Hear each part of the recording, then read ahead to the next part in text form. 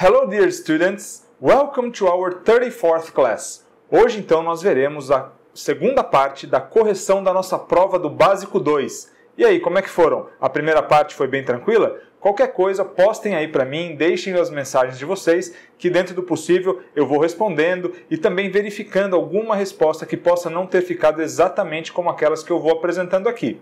E lembro também a vocês, claro, que a pontuação, embora ela seja uma boa medida da, do quanto vocês aprenderam do conteúdo, claro que ela não quer dizer que vocês não teriam condições de seguir em frente, porque é apenas um método de avaliação momentâneo Pode ser que vocês já tenham esquecido algumas coisas, mas com certeza é um bom indício do que é que vocês precisam revisar. Talvez rever uma ou outra aula, um ou outro conteúdo aí que tenha ficado esquecido, tá legal? Bom, pessoal, eu aproveito então para pedir para que vocês comentem, deem um like aqui nas aulas se estiverem gostando e claro, divulguem para os amigos aqui esse trabalho que é totalmente gratuito, tá legal?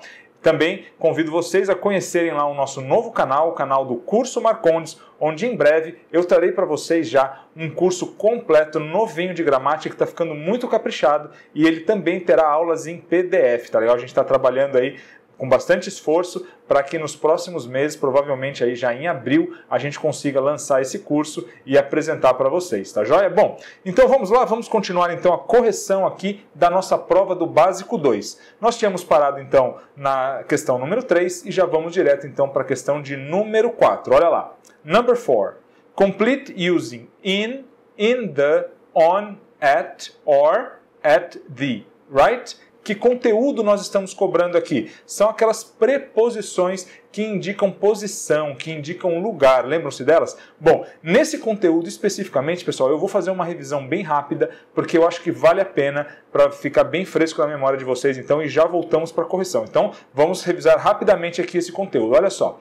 Nas preposições de lugar ou de posição, então, a gente usa o at, né, a preposição at, quando a gente for, for utilizar a palavra home, a palavra work e a palavra school. Então, at home, at work, at school. Né? Por exemplo, example.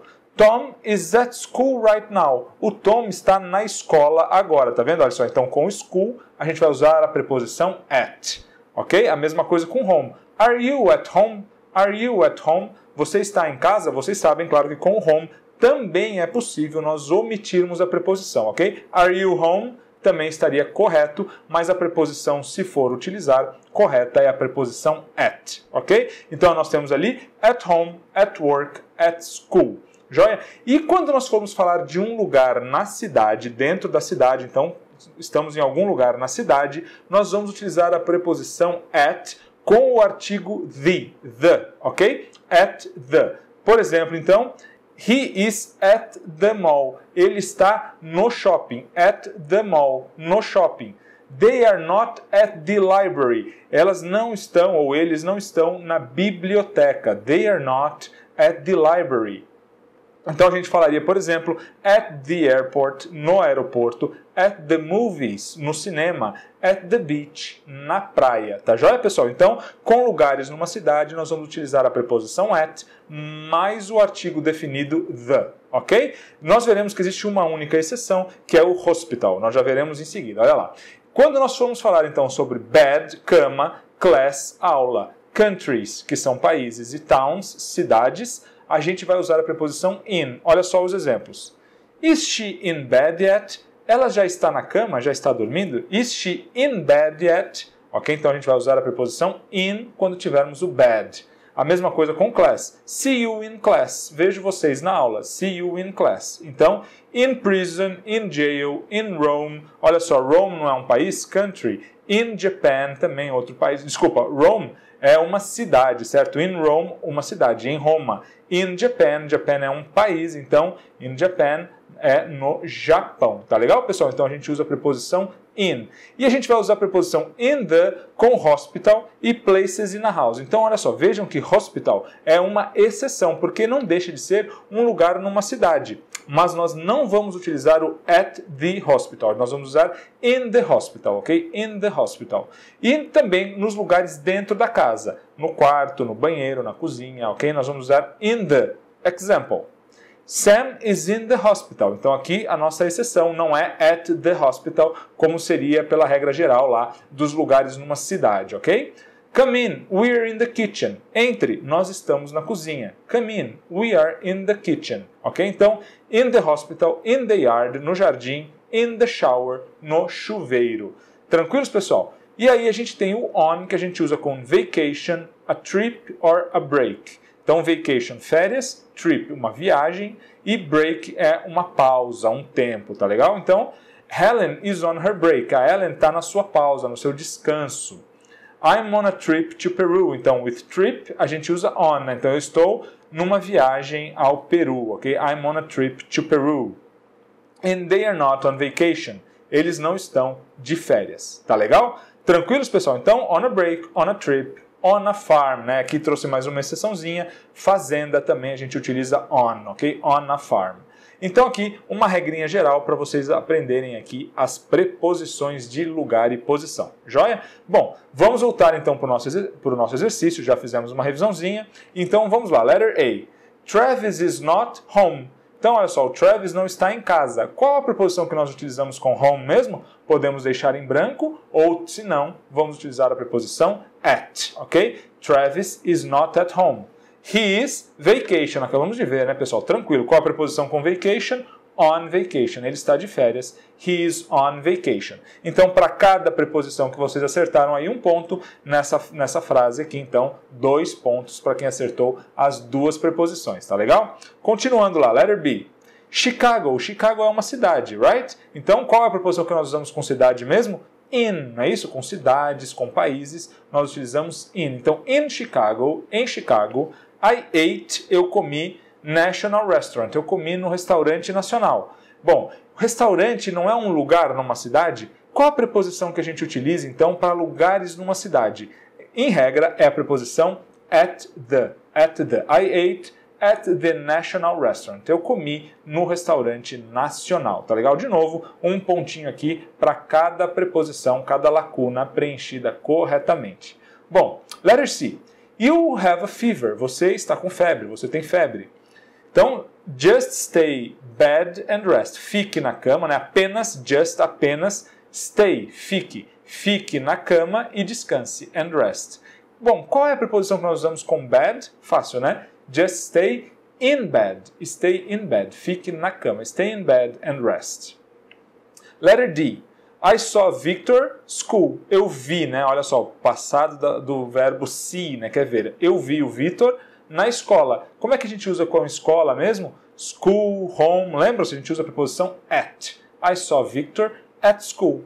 We are same, the same class. Nós estamos na mesma aula. Qual a preposição que nós usamos com aula, com class? Né? Também pode, nesse caso aqui, significar sala de aula né, embora normalmente a gente utilize classroom, né, sala de aula classroom, mas a gente também pode utilizar class aqui como uma espécie de abreviação, tá joia? Então, we are in the same class. Então, in class, see you in class, vejo vocês na aula. We are in the same class. Nós estamos na mesma sala de aula. Tá legal, pessoal? Letter E.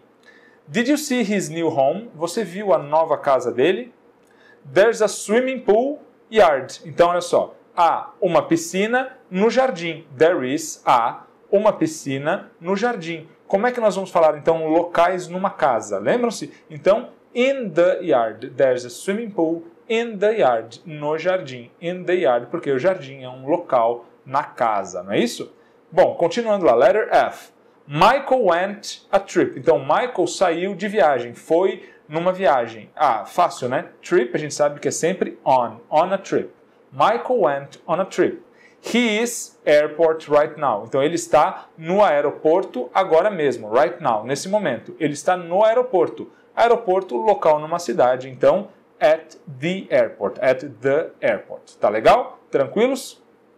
Então vamos lá. Exercise number 5. Use the comparatives of the adjectives in parentheses. Então use os comparativos dos adjetivos em parênteses. Então, siga o exemplo. Olha só, então nós vamos ter duas frases e vai ter um adjetivo aqui no final para nós compararmos essas duas informações que nós obtivemos. Olha lá. In Campinas, em Campinas, there are 1.5 million people. Então, em Campinas há 1,5 milhão de pessoas. In Florianópolis, there are about uh, there are 500,000 people. In Florianópolis, there are há 500 mil pessoas. 500,000 people. Então eu quero que vocês comparem Campinas e Florianópolis com relação ao número de habitantes, utilizando o adjetivo big, grande. Qual deles é maior? Eu quero que vocês me digam, então, claro, que Campinas é maior, porque nesse caso aqui, porque tem mais habitantes do que Florianópolis. Como é que nós vamos utilizar então o comparativo? Lembram-se? Olha só. Campinas is bigger than Florianópolis. Campinas é maior do que Florianópolis. Campinas is bigger than Florianópolis. Quando o adjetivo é curto, como no caso do big, a gente simplesmente acrescenta o ER, mas lembrando que os monossílabos terminados no sanduíche de vogal, não é isso? Terminados numa consoante, precedidos de uma única vogal, nós vamos dobrar a consoante final. Bom, então o mais importante aqui era lembrar que o big aqui vai ficar bigger, ok? Tranquilos? Vamos então começar lá. Letter A. A pair of glasses costs 300 dollars. Então a pair of glasses costs 300 dollars. Custa um par de óculos, custa 300 dólares. A pair of pants, um par de calças, custa, costs 50 dólares, 50 dólares. Então qual deles é mais caro, expensive? Claro que a gente sabe que um par de óculos é mais caro do que um par de calças. Então perceba, pessoal, que aqui está tudo no singular, porque eu utilizei o a pair. A pair é um par, então é singular. Se eu tivesse utilizado só glasses ou pants, a gente teria que utilizar tudo no plural, tá legal? Mas como eu coloquei um par, então um par aqui, olha só o cost aqui, ele tem um S no final, porque está conjugado para he, she, it, não é isso? Então eu tive que acrescentar o S aqui singular. Bom, então vamos dizer que um par de óculos é mais caro do que um par de calças. É fácil, né? Como expensive é uma, um adjetivo longo, a gente vai utilizar o more expensive. Lembram-se disso? A gente não vai colocar o ER no final, a gente vai utilizar o more. Então fica a pair of glasses is more expensive than a pair of pants. Um par de óculos é mais caro do que um par de calças. Quem utilizou no plural também não está errado, tá legal? Glasses are more expensive than pants. Também poderia. Óculos são mais caros do que calças. No problem. Também estaria correto. Tá joia? Então aqui valendo um pontinho aqui para quem acertou essa questão. Letter B. Via Dutra is 402 km long. Então a Via Dutra tem 402 km de comprimento. Route 66, a, a, a Via 66, is 3.939 km long. Então, a rota 66 é, tem 3.939 km de comprimento. Então, pessoal, a gente já sabe que a, a, a rota 66 ela é mais longa do que a Via Dutra, não é isso? Como é que nós vamos dizer isso? Longa agora é um adjetivo curto e nós vamos então fazer ele terminar em ER para fazer o comparativo, não é isso? Vai ficar, portanto, Route 66 is longer than Via Dutra. Route 66 is longer than Via Dutra. Bom, vocês devem estar estranhando por que eu estou lendo Route e não Route, né? Já devem ter ouvido a música Route 66. Root é uma pronúncia mais britânica, tá legal? As duas estão corretas, mas root é uma pronúncia mais britânica e route uma pronúncia mais americana, tá joia? Route 66 or Route 66 is longer than Via Dutra, é mais longa, mais comprida do que a Via Dutra. Letter C. This history book is very interesting. Esse livro de história é muito interessante. That geography book is not very interesting. Aquele livro de geografia não é muito interessante. Então, qual deles é mais interessante? Né? Eu quero que vocês utilizem aqui o interesting, interessante. Bom, se esse livro de história é muito interessante e o de geografia não é muito interessante, o de história é mais interessante que o de geografia. Tranquilo, interesting, adjetivo longo, nós vamos utilizar o more. Bem fácil, então.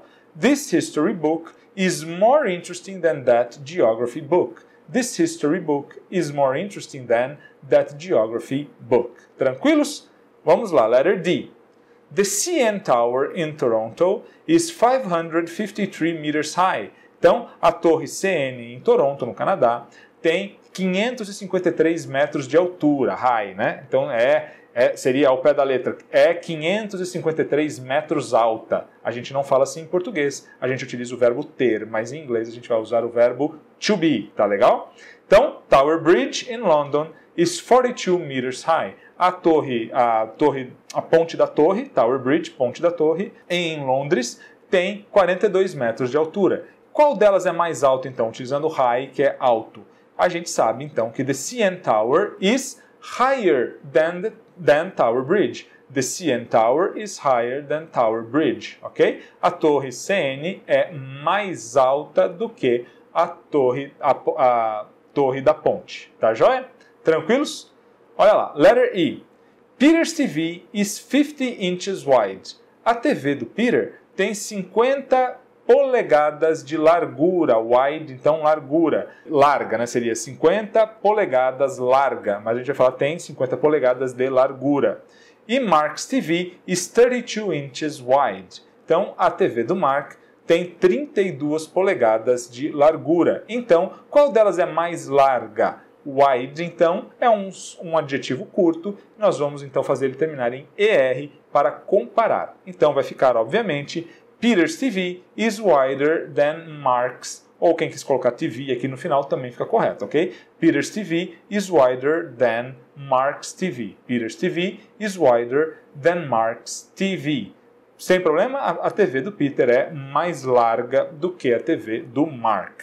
Tá já, pessoal? Bom, vamos fazer então o último exercício dessa correção, que é o exercício number 6, que pede para a gente completar o diálogo com as palavras abaixo. Então tem um quadrinho aqui embaixo e nós vamos utilizar essas palavras para completar aqui o diálogo. Olha só, o diálogo então entre Dina e Sue. Então olha só, Dina vai fazer uma pergunta. Jacket do you prefer? jaqueta você prefere? Ela está perguntando qual jaqueta você prefere. Olhando aqui no nosso quadro, nós vemos aqui o which, certo? Which, então, significa qual. Como é que ficaria? Which jacket do you prefer? Qual jaqueta você prefere? Como ela utilizou which, nós sabemos que há opções que a Sul já conhece, não é isso? Quando nós fazemos uma pergunta genérica querendo dizer qual, a gente vai usar o what, não é isso? What, então, quando nós não damos opções mas ali provavelmente elas estão numa loja e tem ali duas ou três jaquetas e a Sul sabe quais jaquetas são e sabe sobre quais jaquetas, então a Dina está perguntando, conhece portanto as opções, tá joia? A Sul vai responder I the blue. Então eu, olha só, qual jaqueta você prefere? Eu prefiro a azul. Como é que ela vai falar então? Olhando aqui embaixo, olha só, eu prefiro I prefer, não é isso? I prefer the blue. The blue jacket, né? a jaqueta azul. Mas a gente já falou jacket lá em cima, não precisamos repetir. Vamos utilizar um pronome então aqui para substituir o jacket. Vocês lembram então como utilizar o one como uma espécie de pronome? A gente vai utilizar então o one aqui para substituir o jacket. I prefer the blue one. One aqui substituindo o jacket. Eu prefiro aquela azul, ok? I think blue is than green. Opa, nós temos um, uma comparação aqui, olha esse than aqui. Eu acho que azul é mais alguma coisa do que verde. Bom, o que aqui que está no comparativo? Opa, stronger é comparativo, cheaper é comparativo, nicer é comparativo. Bom, eu acho que azul é mais forte do que verde. Poderia até ser, mas fica um pouco estranho uma cor ser mais forte do que a outra, né? Embora a gente utilize em português no sentido de mais rica, mais viva, né? Mas vamos olhar as outras opções. Bom, azul é mais barato do que verde? Não necessariamente, né? Vai depender não da cor, mas sim do produto. Agora, nicer cai bem, não cai? Olha só, azul é mais legal, mais bonito, mais interessante do que verde. Sim, aí ficaria melhor então aqui o nicer. Se vocês ficaram na dúvida, dava para pular e ver que essa seria a melhor maneira de completar aqui, vendo as outras opções que nós teremos embaixo. Tá legal? Ok, então vamos lá. Dina então vai continuar. But look at the price. Mas olhe o, olhe o preço. Is 100 dollars é 100 dólares. Ué, professor, já não está completo aqui? Não. Precisamos de um sujeito sempre em inglês, pessoal. Quando nós estamos falando de um objeto, de um animal, qual é o sujeito mesmo no singular? É o it, não é isso? It is 100 dollars. Olha o preço. Custa é 100 dólares, ok? The green one is é agora, olha só. A verde é, olha só, the green one, the green jacket is a verde é o que? Mais barata. Como é que eu vou fazer falar o mais barato mesmo? Vamos usar o comparativo de cheap. Cheap, barato. Cheaper, mais barato. Então, the green one is cheaper. A, a, a verde é mais barata.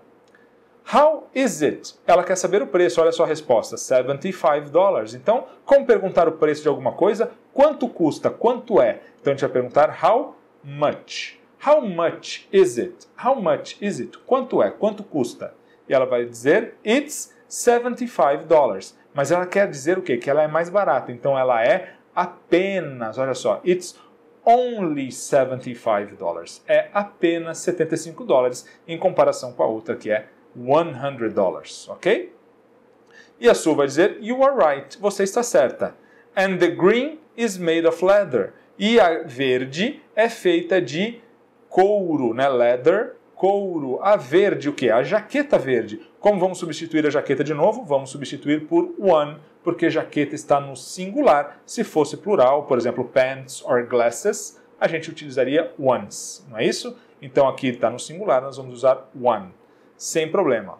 I think leather is, eu acho que o couro é do que jeans. O couro é agora sim, o couro é mais forte do que o jeans, mais resistente. So leather is stronger than jeans, ok?